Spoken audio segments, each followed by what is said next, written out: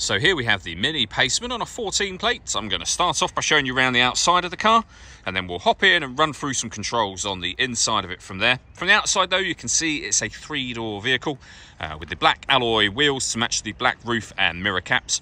Let's start off inside the boot and then work our way around the rest of the car from there.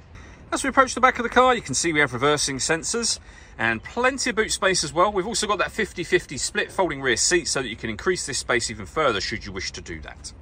Okay, so we're just going to work our way back round to the front of the car and then we'll hop in and run through some controls on the inside of it from there. But now that we've done a full circle, you can see it's in lovely condition the whole way round. Just briefly before we climb in, I think it's well worth seeing the interior from this exterior point of view. There's plenty to run through on the dashboard, so let's hop in and we'll do that right now.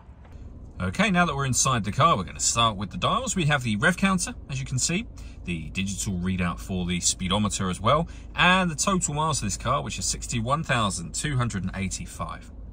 You can change information displayed in that section for various bits of trip computer and fuel economy information by pressing the indicator stalk, or the button on the end of the indicator stalk. If we back out to the steering wheel, on the right-hand side, we have cruise control. And over on the left-hand side, stereo and phone controls for the car. In the center is where you'll find the main speedometer, the fuel gauge, and of course the stereo as well. So uh, this car has got AM and FM radio, DAB, CD player, auxiliary input, and USB input as well. So plenty of ways to listen to your music. Press the menu button. This is where you'll pair your phone. We have our onboard computer as well.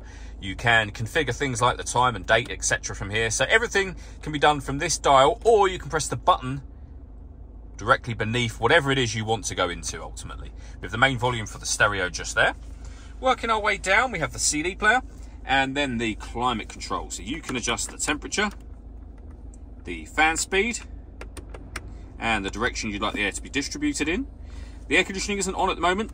That button turns it on. Same button again to turn it off, of course or hit auto, the car will now maintain this temperature by taking control of the direction of the air and the fan speed. Press auto again and you'll go back to whatever setting you had it on previously. Beneath that, with a heated driver seat with three different heat settings and the same available for the passenger side just here. With our front and rear fog lights, we can put the car into sport mode. We can lock the car from the outside. This turns off the stop and start. So this car is designed to cut out when it's stationary in traffic which in turn will save you fuel. That system is off when that light shows, and then you can turn off the traction control from over here as well. We then have a couple of cup holders and a six-speed manual gearbox. Beneath that, the auxiliary and USB inputs as well. All that leaves me to say is thank you for taking the time to watch this video. If you'd like to come see the car in person and have a test drive, please feel free to give us a call here at Glenbournes. We'd love to hear from you soon.